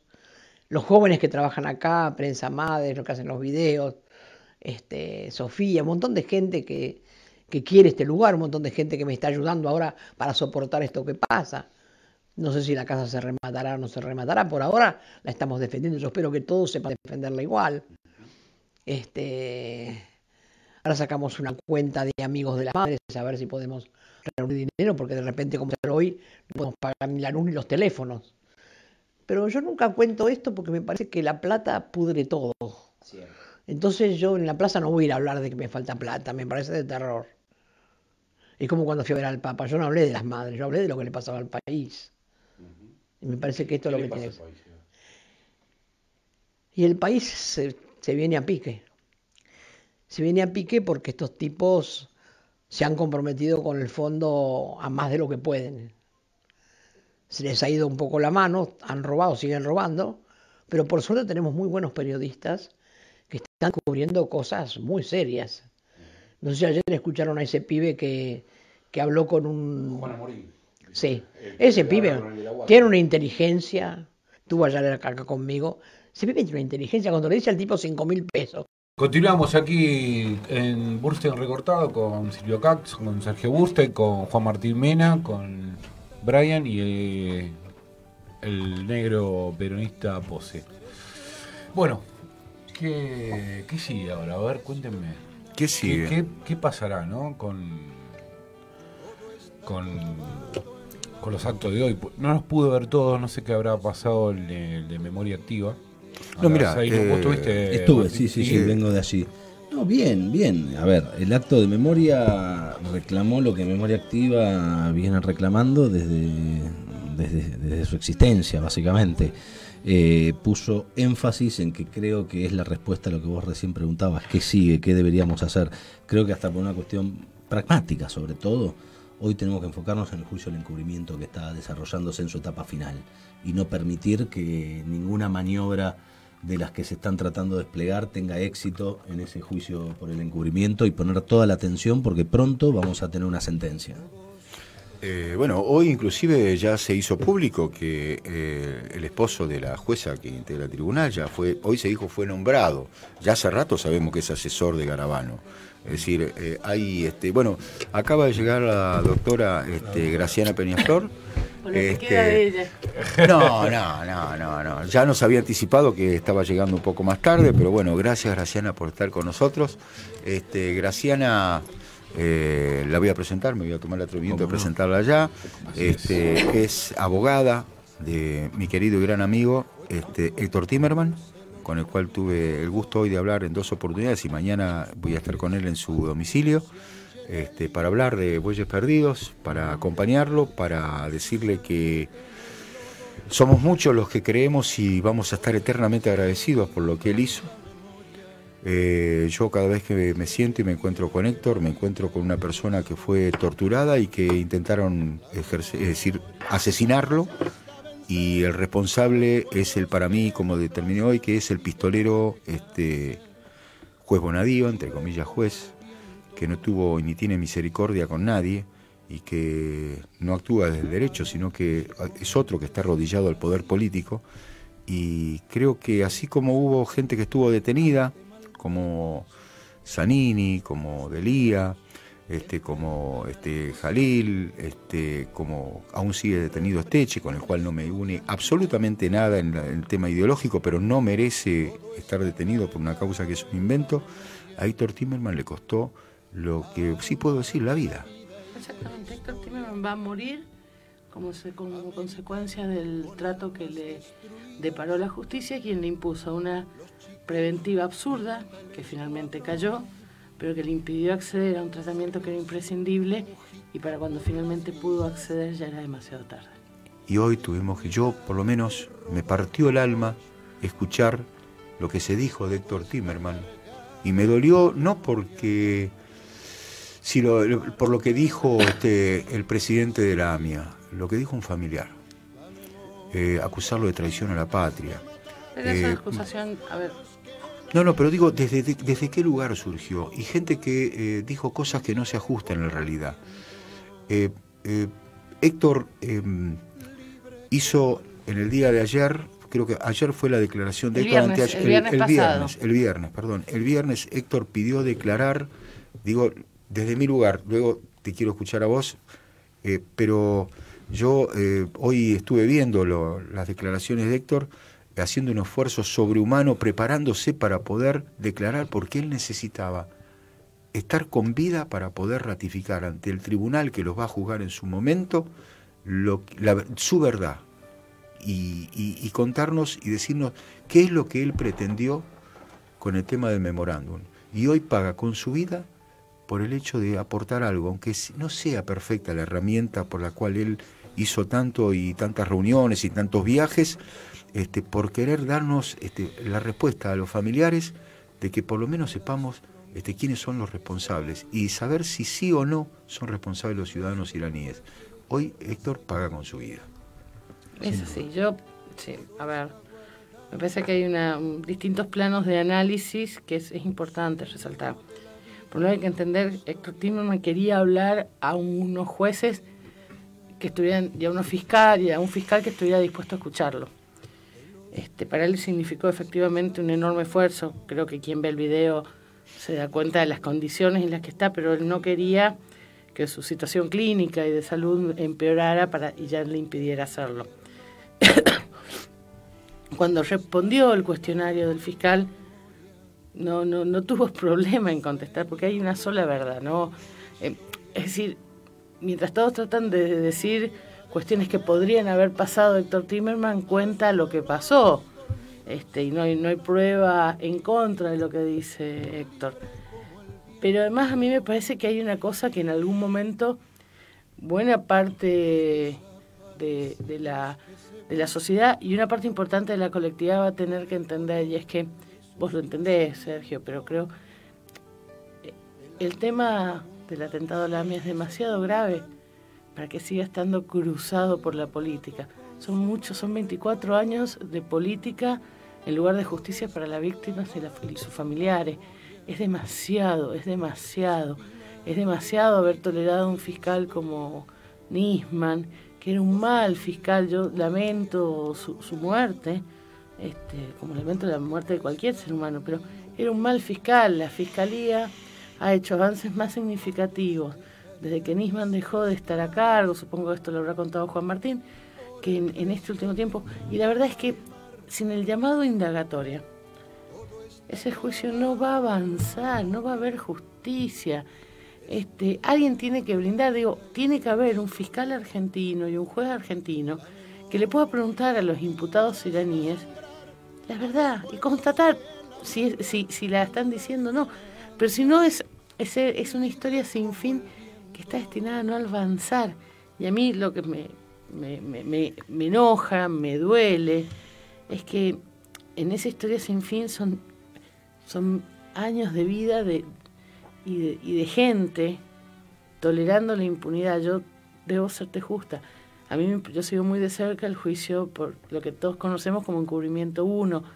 No puedo creer que, la DAYA no haya acusado a, los fiscales, pues yo puedo creer que el Estado Nacional, yo no tengo confianza, este Estado Nacional, puedo entender que busque pactos de impunidad, entiendo la vinculación del Fino Palacio con, con, todo ese universo y por qué van a proteger especialmente el universo que circundaba al Fino Palacio. Ahora, que miembros de la colectividad desista de acusar, eh, me, parece cuanto menos una salvajada y me espanta aún más la poca publicidad que tiene, el encubrimiento real, probado, verificado, y la mucha publicidad que tiene el encubrimiento imaginario. Es, es tremendo. Respecto a lo que dijo un familiar de Héctor Timerman, yo creo que todos compartimos esto.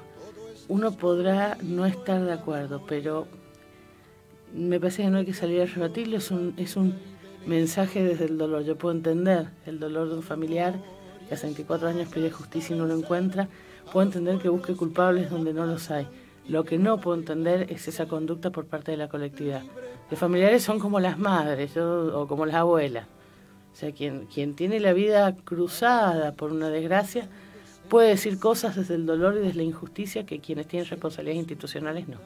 Claro, eh, yo entiendo tu posición. Yo lo digo desde eh, un familiar al cual que conozco mucho y me duele que lo haya dicho porque no se ajusta la verdad. Eh, y, honestamente me dolió inclusive que esté al lado de quien estuvo parado y no lo mirara, le dijera, vos sos el que está protegiendo a los encubridores, vos no acusaste a los fiscales. Eh, hay compromisos que... Yo no puedo creer que, todos han quedado, no puedo creer que hoy se hayan quedado callados frente a la falta de acusación a Veraja y a los fiscales. Perdón, casi ni se mencionó el juicio. No lo puedo creer. O sea, hay, cosas que no. cosas que no se pueden creer. Están mal, están mal. Es tan sencillo como saber que está mal. Y es tan sencillo como saber que ese juicio de encubrimiento por el que tanto se peleó en su momento está destinado a quedar en un capítulo oscurito y chiquito de la historia, está mal eso. Y fundamentalmente porque quien lleva adelante la causa, en la cual tiene procesado a Juan Martín Mena también, este, y bueno, y a Héctor y a todos, eh, se llama Bonadío. Bonadío el encubridor del encubrimiento. Claro, el encubridor del encubrimiento que fue apartado de la causa porque la cajoneó durante cinco años y medio, y hoy este, las instituciones y algunos familiares van y se presentan ante Bonadío y parece que no tienen en cuenta o no quieren o les preocupa de que este juicio se esté llevando adelante. A mí me preocupa, pero, pero profundamente, de que no se haya hablado prácticamente del juicio, se haya apenas mencionado y la gente no los haya reprobado.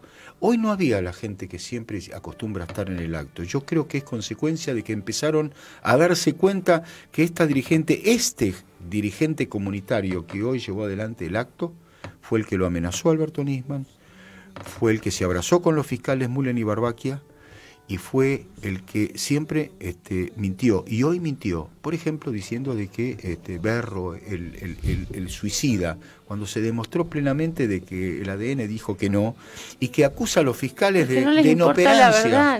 Exactamente. El problema es que no les importa la verdad. Creo que no les importa la verdad también porque están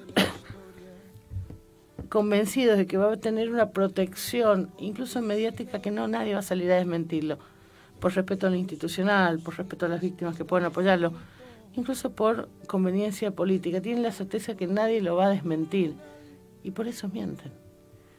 Porque, digo, si yo soy un dirigente comunitario, viene un aniversario de la magnitud y la trascendencia que tiene esto, yo preparo, me... Yo a veces me pregunto, ¿será que ellos no leen y repiten lo que alguien más les dice? ¿Será que podrán no conocer este caso? No lo sé. Y, este, la pregunta, la respuesta a eso te la da Garabano cuando cambia el abogado, ¿no? Eh, sí, Evangelicio operando, pero la eh, pregunta... El problema de Garabano ya entra en la órbita de... Yo te voy a decir una cosa, para mí el problema de Garabano ya entra en la órbita del derecho penal. Yo creo que Garabano tiene responsabilidades institucionales en cuanto a Estado. Este, yo creo que no está cumpliendo con sus deberes de funcionario, no me, parece que es evidente que la no acusación del Estado eh, implica un severo incumplimiento, implica una denegación de justicia para las víctimas y entiendo que el ministro Garabano y quienes formaron parte de ese de, ese acuerdo espurio hecho último momento en, oportunidad de los alegatos y la acusación eh, es pasible de responsabilidades penales porque finalmente es una proyección del mismo encubrimiento que se está juzgando. Y en base a todo esto que estamos hablando, ¿qué esperanza tenés? ¿Qué, qué, qué pensás? ¿En algún momento pensás que va a haber justicia, que es posible lograr justicia, que en algún momento los jueces van a pensar este, en las víctimas y no en los compromisos eh, políticos, de las amistades, lo que fuera? En algún momento la esta cruzada, no me gusta decir lucha, yo me resisto a decir luchar por saber la verdad, en esta cruzada por la verdad que llevan adelante los familiares, todos los familiares, aún los que hoy estuvieron acompañando a Agustín Esbar en el acto, este, se va a ver este, traducida en, justicia fundada en la verdad verdadera. Tenemos, Yo creo que va a haber una parte de verdad. Creo que una parte de, los culpables del, del encubrimiento van a purgar su deuda con la sociedad otra parte va a quedar con impunidad. Y yo creo, lo hablábamos con Juan Martín hace unos días, decíamos, bueno, cuando uno cuando uno era, yo, me recibí chica, cuando, cuando los organismos de derechos humanos empezaron con los juicios por la verdad, la memoria y la justicia, uno como abogado, yo era una jovencísima abogada, este, uno decía, bueno, es muy difícil, ha pasado mucho tiempo. Y bueno, y la verdad es que la historia demostró que la verdad trasciende eh, el tiempo. Sí, yo, yo no sé cómo haría una sociedad para seguir adelante sin verdad, porque la ausencia de verdad que se dio desde el, 90, desde el mismo día del atentado ha traído consecuencias dramáticas y la ausencia de verdad va trayendo consecuencias. Digo, Nisman también es consecuencia de eso, su propia muerte es consecuencia, o sea, la anomalía de, la deformación de la realidad finalmente tiene consecuencias que se trasladan en el tiempo. Yo elijo pensar en un ejercicio de optimismo eh, que, y un ejercicio de necesidad mía, yo soy abogada, entonces yo creo en la justicia, que ese, esa anomalía que se traslada a lo largo del tiempo, también se traslada la, posibilidad de la verdad. Y cuando alguien me dice que estoy un poco loca, yo digo esto mismo yo pensaba que las madres y abuelas ya estaban demasiado tarde para, para obtener los juicios de verdad, memoria y justicia, y he visto condenas eh, y he visto amigos míos saber qué pasó con sus padres, y, y la verdad es que eso es lo que sana. La, la justicia tiene un, es, es tremendo, la justicia no logra volver las cosas al estadio anterior antes que pasar el hecho. Lo único que hace la justicia en mayor o menor medida es reparar. Quiero, este. quiero decirte lo mismo que le dije a Juan Martín. Yo creo fervientemente en la justicia. El problema es quienes deben impartir justicia. Ahí está el problema. Es decir, y hoy se le preguntó, este, Claudio le preguntó a Juan Martín, y bueno, 2019, este, mm, otro gobierno, este, esperemos que popular, eh, ¿Qué debemos hacer para que esto no siga ocurriendo, ¿no? para que no predomine la injerencia del poder político como está ocurriendo hoy en las decisiones de, en, casos tan importantes y graves como el tema del atentado al AMI o del, encubrimiento, eh, mm, por el tema del memorándum, para que esto cambie el rumbo, que, que podamos llegar a saber la verdad y, que realmente este, la justicia actúe o los jueces actúen a derecho. Mira, yo creo que lo que hay que hacer es, primero, no asustarse primero no darse por vencido. Es como porque quien se da por vencido de alguna manera se resigna. Yo creo que no hay que darse por vencido. Eh, por un lado. Por otro lado, creo que hay que pelear, pero, yo sé que a vos no te gusta, pero hay que hay que dar, hay que dar esa, esas cruzadas o esas batallas. Y me parece importante hacerlo. Creo que es importante hacerlo. Y lo otro yo estoy convencida que hay que resguardar, más allá de la verdad judicial, hay que hacer un, trabajo constante sobre la verdad histórica para que, para que la tergiversación no quede como único registro. Yo valoro mucho quienes escriben, quienes documentan, quienes hacen el esfuerzo por reflejar, porque yo estoy convencida que a ver, las sociedades buscan verdad. Las sociedades, a las sociedades no les gusta no les gusta tener un mundo mentiroso. Digo, le costó aceptar los 30.000 desaparecidos, pero lo terminaron aceptando. Ese. Yo creo que más allá de los errores que como sociedad podemos cometer, las sociedades tienden a buscar los caminos de la salud como sociedad y ese, que esos caminos están inscriptos en, en verdad y en justicia. Y sobre el Poder Judicial, me parece que el Poder Judicial tiene que dejar de ser eh, una, herramienta de, la política y me parece que ese es el desafío de un gobierno más democrático que este gobierno, eh, producir una profunda reforma en el Poder Judicial, pero profunda, que nos ayude a tener un Poder Judicial que imparta justicia. Yo hace mucho tiempo, mi socio no me, lo de, no me deja hacerlo, pero hace mucho tiempo que tengo ganas de firmar los escritos este, con la frase en lugar de será justicia es que Dios le dé a usted la justicia que usted imparte a los hombres. Interesante, ¿no? Sí, lástima que ninguno de los que lee eso posiblemente crea. Eso dice mi socio. Exactamente esa es la lógica de mi socio. Eh. Y yo entiendo también que, que, que, podría no ser eh, conveniente en términos, pero yo tengo muchas ganas. Yo, yo soy yo soy una persona religiosa, no.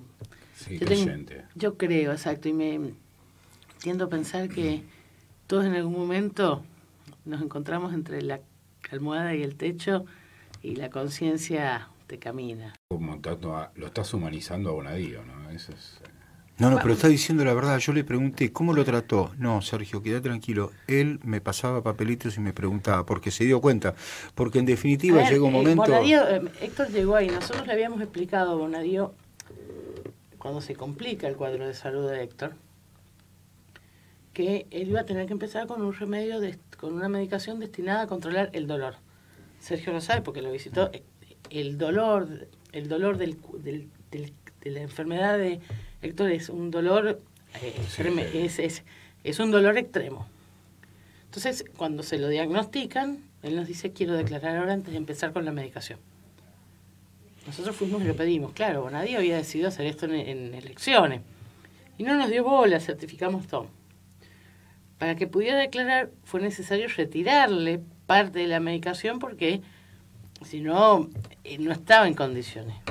Bueno, fue una cosa yo, yo soy honesta, lo he contado, a mí me avergüenza como, como profesional. Y yo revisé, controlé toda la indagatoria, no, no se me pararon de caer lágrimas, porque para mí era una sesión de tortura. O sea, distinto fue los otros días, que Héctor estaba mucho peor, pero en unas condiciones de poder declarar, en unas condiciones un poquito más y con un respeto por parte del tribunal. Claro, y lo trataron con respeto. Yo, yo, yo fui, me acuerdo todavía, el 17 de octubre del 2017 con Héctor Timerman. Héctor Timerman, cuando lo acusaron de, de haber de haber participado en, apoyar a, a, enemigos de la nación, pero ¿dónde estuvo la guerra? O sea, fue una cosa, y hay una, una, una cuestión histórica que también yo creo que a Héctor le, le pesa mucho y es que de traición a la patria también acusaron a su papá, que es uno de los dos únicos argentinos a los cuales el Estado argentino, durante la dictadura, les quitó la nacionalidad. porque finalmente es una tradición teñida de un profundo antisemitismo. Los dos. Este, ¿Puedo hacer una pregunta? Sí, eh, quería contar lo de Morales Solá. Claro, no, no, ahora, ahora pero voy por, eh, eh, debo decirlo, es decir, estás eh, no emocionada, estás conmocionada. Y me surge la pregunta, ¿vos lo conocías a Héctor antes de...? Héctor es amigo mío hace muchos años. Parece que sabés quién es Héctor. Yo lo conozco, yo, a ver, yo, yo lo conozco y lo conozco gruñón, lo, digo, lo que todos conocemos de gruñón, obsesivo de la puntualidad conmigo, que soy un impuntual, pero yo siempre estuve muy para mí siempre fue una experiencia muy buena mi amistad con Héctor Timerman. Claro, no trabajé con él, no, no es que simplemente a mí me gustaba, es absurdo, a mí me gustaba hablar de libros. Héctor Timerman es un enorme lector. Este, cosa que no pasaba con algunos funcionarios. Eh, con Héctor Timerman yo pasaba siempre estábamos habíamos leído algo. yo, yo lo quiero mucho, es mi amigo de hace muchos años. Este, y cuando pasó todo esto yo me quedé muy conmocionada. Yo no había hablado con él porque cuando pasa lo de Nisman, Héctor no estaba en el país. Digo, cuando Nisman hace la denuncia y luego aparece muerto, Héctor no estaba en el país. Yo me quedé conmocionada, dije, bueno, cuando vuelva le... Este, pero aparte yo he compartido las reflexiones de él sobre por qué hacía el memorándum, digo, fue durante esos años fue un tema que uno volvía, porque uno, digo, yo hasta como abogada, decir, ¿cómo hicieron esto? O sea, cuestiones que tienen que ver con, este, realmente, mm, yo no, yo no puedo creer, porque aparte, es, me, me parece muy trágico, o sea, muy trágica la historia de, de los Timmerman y este país que los canibaliza, los somete a cuestiones en generales, eh, a, todos ellos. Como si no les perdonara algo. Yo no, no, no logro determinar que tengo millones de tesis que no son más que teoría, no, no, ni siquiera podría decirles acá.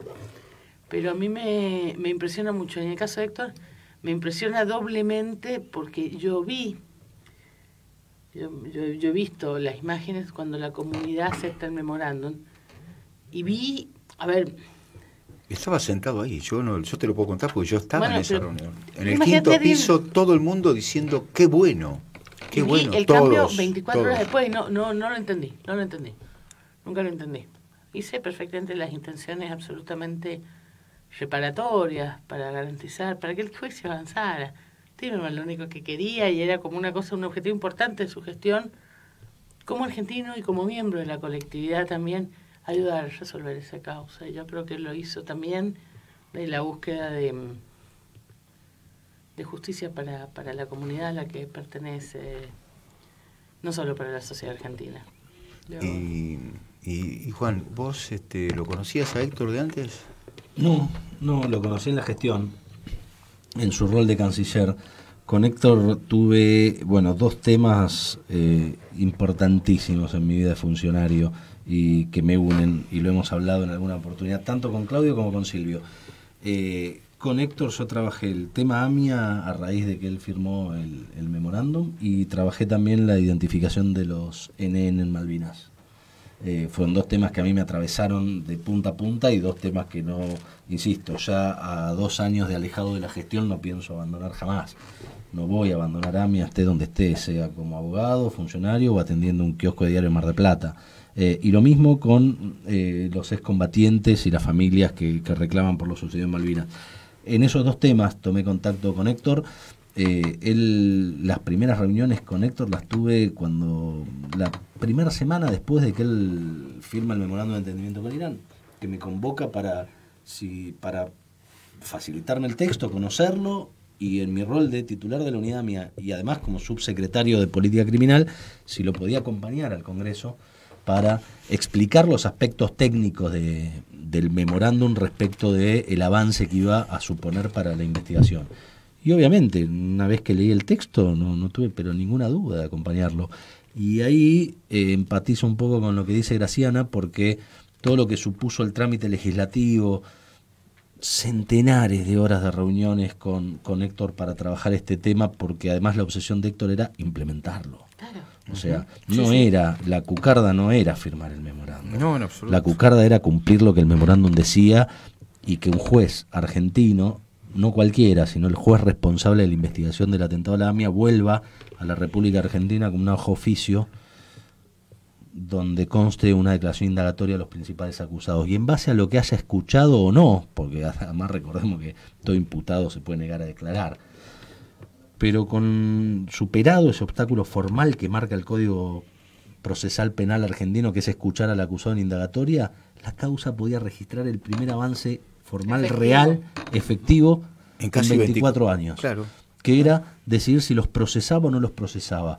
Y ahí lo que muchos, yo creo que sí lo entienden, iba a ser quizás un poco indulgente diciendo que no lo entienden. Yo creo que lo entienden y actúan eh, de mala fe.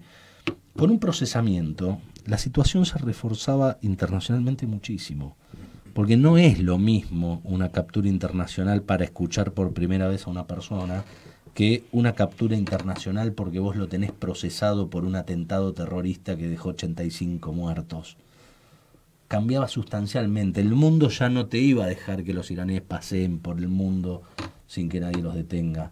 Cuando vos los tenías procesados por un atentado terrorista. Y yo creo que esa era la principal bondad que tenía el memorándum. El resto eran cuestiones absolutamente intrascendentes. El memorándum habilitaba superar un escollo nuestro, legal, que es la indagatoria, para que el juez decida si decidía procesarlos o no procesarlos. Pero si los procesaba en función de las pruebas que pueda tener en la causa, la situación internacional cambiaba por completo. Y ahí realmente creo que podíamos avanzar en la causa. Y si no los capturaban, igual, para cuestionar ese procesamiento, los iraníes tenían que venir a la Argentina. designar un abogado, apelar, declarar la nulidad, etcétera. Por lo tanto, en ese sentido el memorándum tenía mucha bondad. Era un instrumento perfecto para nada, era lo posible. No pero sé qué cuando vos en esta este, causa, pero era posible un, registrar un avance concreto. Vos lo leíste, estuviste de acuerdo y todo. ¿Vos pensabas de que, o, o, suponías de que iba a haber alguien que se opusiera a esto, como se opusieron cuando tuviste que disertar ante el Senado o la Cámara de Diputados? No, bueno, yo, yo, también viví aquellos primeros días después de la firma del memo en que la comunidad e incluso el fiscal Nisman, etcétera, eh, lo elogiaron y lo viví personalmente.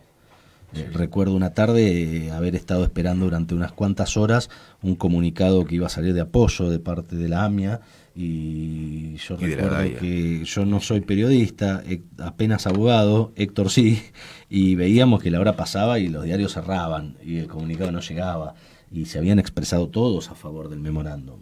Bueno, evidentemente llegó alguna indicación de algún lado eh, y cambiaron todos de postura, pero luego de eso me reuní igual por un montón de temas con autoridades de la comunidad judía durante mucho tiempo. Eh, y bueno, no hace falta hacer saber algunas, algunas, algunos comentarios que recibí al respecto de eso, pero pocos, te diría casi ninguno respecto del avance de la causa AMIA. Había otros reclamos también por hacer a las autoridades del Poder Ejecutivo vinculados a otros temas. Los únicos que siempre reclamaron justicia por AMIA y que trabajemos en consecuencia fueron los familiares. Y es por eso el compromiso que, al menos yo personalmente, y sé que es compartido por, por muchos amigos y colegas, tenemos con ustedes. Porque los únicos acá que no tienen otros intereses y que lo único que quieren es llegar un poquito de verdad son los familiares. Sí, aparte un memorándum que jamás entró en vigencia, ¿no? Y lo cual Sí, te tiene a vos además, procesado claro. encima. O sea, por, Además, una- por sí. algo que jamás se pudo Pero además, aplicar. yo, mm, volviendo a la pregunta, cuando respecto de cómo yo, yo viví la obsesión que Héctor Timerman tenía por esto. Eh, uno de los procesam- uno de los procesamientos, no, perdón, uno de los hechos que se evalúan como negativos para procesarme es que yo me desplacé a Lyon, Francia, a entrevistarme personalmente con el secretario general de Interpol para hacerle saber cuál era la postura argentina respecto a las alertas rojas y avisarle que no íbamos a permitir de ninguna manera que esas notificaciones rojas caigan. Ese viaje fue por la obsesión de Héctor Timerman. Porque Héctor estaba obsesionado con lo que se estaba diciendo en el país, una cantidad de mentiras y barrabasadas que eran Cuando no, imposibles le de había dicho que contestar. no había problema. Claro. En el país la oposición política y los grandes medios de comunicación decían que el memorándum tenía ese objetivo. Héctor, que lo había firmado y sabía que no tenía ese objetivo, no dormía ante la escasa posibilidad de que alguien pueda dar crédito a lo que decía la oposición en nuestro país. Y me encomendó como titular de la unidad y como además jefe de gabinete del Ministerio de Justicia, me desplacé en el día a Lyon a hablar, a entrevistarme con Ronald Noble. Cuando le conté a qué había ido, obviamente la- la- la reunión la, la gestionó el canciller para que me reciba, porque no es que uno llega a Lyon, toca timbre y el secretario general de Interpol te atiende. El hombre no podía creer que yo me había ido hasta ahí para eso. Y así nace la famosa carta que Ronald Noble le envía a Héctor Timerman diciéndole no solo que no estaban en riesgo las alertas rojas, sino que el memorándum firmado con Irán era muy positivo. Y era el primer avance que registraba la causa. Porque a Interpol también le interesa que este, que este conflicto se resuelva. No, no, Inter- Interpol no pretende tener esas capturas internacionales de por vida con esa notificación roja que lo único que hace es desprestigiar a la propia Interpol. Porque los hombres no dejan de pasear, lo hablamos hace un rato, y nadie los captura. Entonces, Interpol también tiene interés en que este diferendo entre Argentina e Irán se solucione. y le, envían esa carta que se la traigo yo al país, Héctor Timerman, y, y, con la cual él da una conferencia de prensa en la que informa, quédense tranquilos, que no hay forma de que las alertas rojas caigan. Primero porque el Ejecutivo no lo quería. Segundo porque no se podía. porque si uno lee la ley vigente y los reglamentos generales de Interpol, no permite que caiga, inclusive si Héctor Timerman hubiese tenido esa intención que no la tuvo. Cuando yo digo esto en el Congreso, me dicen, pero usted qué garantía puede dar. Bueno, yo no puedo garantizar que no se cumplan ni las leyes ni los reglamentos de Interpol. Señores, yo le estoy diciendo, en base a esta normativa, nosotros resolvimos tal cuestión. a mí me parece que hay que señalar además que estas alertas rojas tienen una particularidad, que su solicitud fue impugnada por los iraníes, entonces no lo puso eh, no lo puso el secretario general de Interpol, sino que lo puso la Asamblea. Y solo pueden ser retiradas por una instrucción de la misma Asamblea. Con lo cual la posibilidad de que cayeran por fruto de un acuerdo bilateral e, era inviable. No, inviable, pero además... Igualmente no las tenía que pedir Canicó a correr Exactamente. Los reglamentos no, de Interpol, caía, sino más, que... Los reglamentos de Interpol requieren necesariamente la opinión del juez que la ordenó. Porque la, la notificación está porque un juez ordenó una captura. Entonces, la única forma de que eso suceda era si Canicoa Corral le decía Interpol, sí, bajen las Pero además Interpol tenía que subir ese pedido a una asamblea. A, la asamblea general. Exacto, pues la orden fue de, de la asamblea. Aquí voy con todo esto, yo viví muy cerca de, Héctor Timerman todo este proceso que, no tengo duda en, sumarme con usted y afirmar que le, costó y le está costando la vida. Eh, no sé de medicina ni de ciencia, no sé si esto le produjo eh, el padecimiento que tiene, lo que sí no tengo duda es que se lo despertó, si no se lo produjo. Se lo aceleró Héctor, y... Héctor era un tipo absolutamente sano cuando estaba en insoportable, sano, a mí no me dejaba fumar. Sí, no, no, pero aparte, eh, el dolor eh, profundo de Héctor, eh, lo que le duele terriblemente es que se lo haya señalado como traidor a su origen, traidor. lo que lo acusaban de su papá. Claro, perdón, pero aparte tener que irse del templo, dejar de ir al templo porque, porque lo viví junto con él. Los que nos abrazaban. Los que nos felicitaban, los que nos acompañaban, son los mismos que después nos miraban y decían traidores. Y Héctor tuvo que dejar de ir lo poco o mucho que iba al templo, en donde aquí estuvo sentado eh, y acompañó esta vergüenza que le dio, que fue Carlos Escudé, diciendo yo en el templo al cual iba Héctor Timerman, mm. asistí vergonzosamente al destrato que tuvo Héctor como judío y el, abandono que tuvo por parte del rabino que él tanto quería y veneraba, que era este, Danny Goldman en el templo de Betel. Es decir, Héctor sufrió la humillación total, eh, tanto en lo, en, lo espiritual. Una cosa chiquita, a mí lo de, ¿sabes qué? Es extraño. ¿Sabes cuál fue la cosa que más le dolió a Héctor? Ni siquiera la humillación de él. Cuando su hija no conseguía un rabino, un rabino que, que, bendijera su matrimonio. Yo no me animé a decirlo, a contarlo. Yo, De todo, él siempre dice que lo peor fue, porque si me odian a mí como odiaban a mi papá, ahora, ¿qué culpa tiene mi hija? Muchachos, el programa está terminando y la verdad que ha sido un programa muy intenso. Eh, es muy intenso y se han contado muchas cosas que al menos yo algunas desconocía, por ejemplo como lo de la asamblea de, sabía obviamente que no se aplicó, que yo, pero... Antes de llegar a la Asamblea, la comisión, lo que sería la comisión directiva, que es eh, la, la, eh, la, mesa chica de Interpol, tiene que saber si da curso o no al pedido de un país, por ejemplo, de las alertas rojas, si fueron aprobadas. Y luego se trató en la Asamblea General, en donde se aprobó por amplia mayoría, por amplísima mayoría.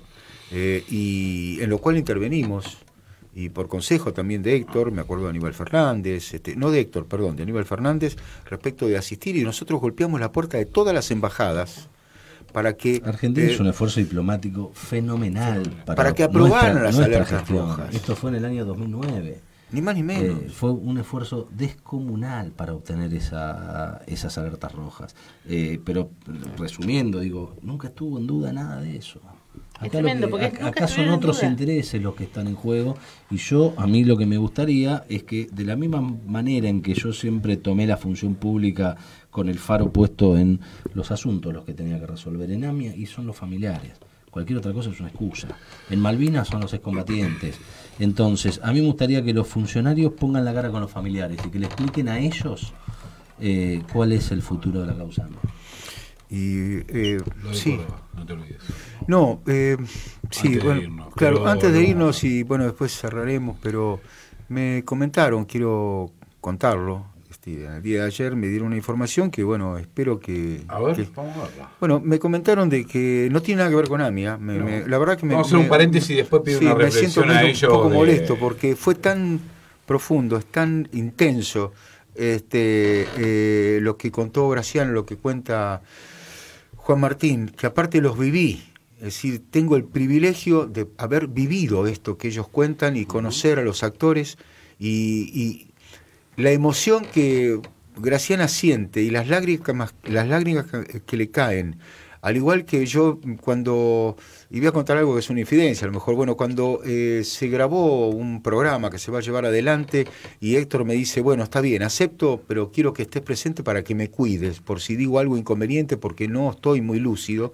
Bueno, yo estuve ante esta gente que lo grabó, este, y al rato llegó Graciana, y yo me tenía que venir al programa y se quedó Graciana. Y yo me fui tranquilo, no porque era la abogada, porque esta emoción que tenía Graciana, yo la viví en ese momento. Y yo le dije a Juan Martín, quiero que esté Graciana porque yo siento que hay un amor profundo por Héctor Timmerman, más allá de un respeto, y que ella no está como amiga, es como, como abogado, está como amiga, porque prácticamente vivió esta cruzada que llevó adelante Héctor Timmerman y no merece pasar lo que está pasando. Y lo que yo quería decir es que, me, bueno, me dijeron, me contaron que el gobernador Schiaretti está dispuesto o va a pagar los sueldos de Flybondi porque entiende que de esa manera él puede llevar un poco más de trabajo a Córdoba. Listo, gracias. Lo vamos a dejar ahí y después lo vamos a investigar.